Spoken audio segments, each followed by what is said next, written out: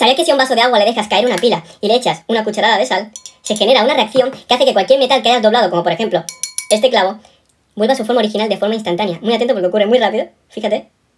Cómo se dobla y queda completamente recto. Es de locos. Bueno, una pila nueva que seguramente tendré que tirar. Agua y sal, que lo he movido bien. Y fíjate, he torcido el tenedor a propósito.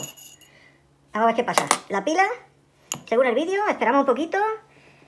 No se tarda mucho.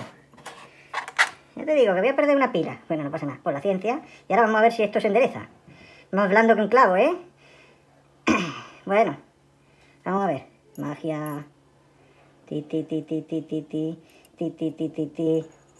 No lo veo enderezarse, pero lo voy a dejar una media orilla, ¿vale? A ver qué pasa. Vale. Ti, ti, ti, ti, ti. Bueno, cerca de media hora después, el asunto sigue igual. Aunque sí, es interesante ver que ahí se está produciendo liberación de gases.